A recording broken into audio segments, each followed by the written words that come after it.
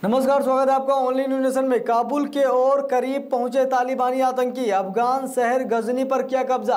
पूरी exclusive video में आपको दिखाने जा रहा हूँ, क्योंकि लगातार तालिबान अफ़गानिस्तान में कई शहरों को पर कब्जा करता जा रहा और इसे देख रहा है पूरा विश्व, लेकिन किसी की हिम्मत नहीं पड़ रही है कि जा कर के अफ़गानिस्तान का साथ दे।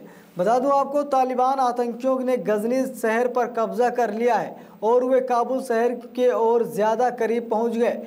गजनी शहर तालिबान के पास जाने से अफगान सरकार को बड़ा झटका भी लगा है। अफ़गानिस्तान में तालिबान आतंकी अब राजधानी काबुल के और करीब पहुँच गए हैं। तालिबान ने रणनीतिक रूप से बेहद अहम शहर गजनी पर भी कब्जा कर लिया है। एक सप्ताह में ये दसवीं प्रांतीय राजधानी है जिस पर तालिबान ने कब्जा किया है।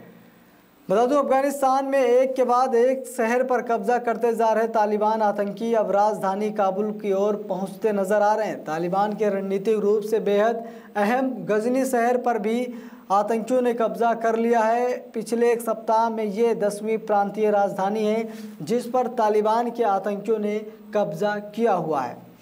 गजनी शहर देश के राजधानी काबुल से मात्र 150 किलोमीटर की दूरी पर है।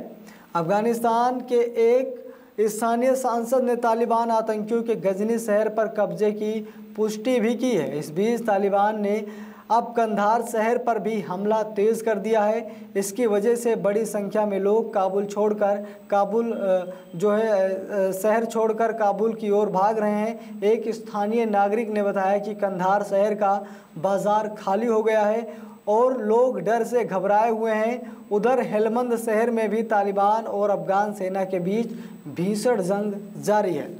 बता दूँ लश्करगाह पुलिस मुख्यालय पर अब तालिबान का कब्जा बता दूँ आपको लश्करगाह शहर में एक कार बम से पुलिस मुख्यालय पर हमला किया गया। तालिबान का मुकाबला करने में अफगान सेना के पसीने छूट रहे हैं।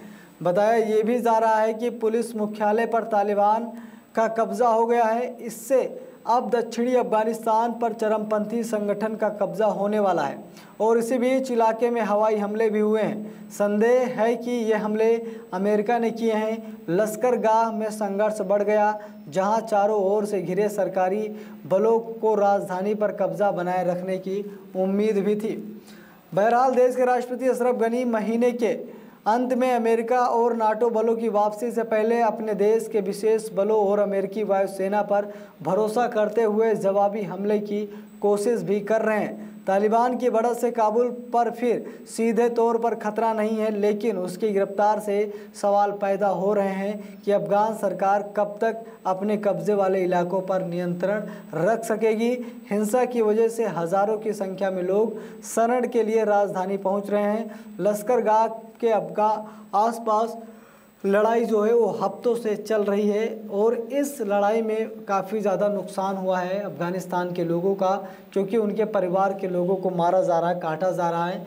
लेकिन मजबूरी है इस वक्त अफ़गानिस्तान के भी कि अपने लोगों को बचा भी नहीं पा रहे हैं। तो कमेंट बॉक्स में राय लिखिएगा, वीडियो को भी ज़्यादा लोगों तक शेयर कीजिएगा, क्योंकि जब भी आप वीडियो को शेयर करते हैं तो सच्चाई जनता के सामने पहुँचती है और आज फिर तालिबान लगातार बढ़त बनाए हुए हैं।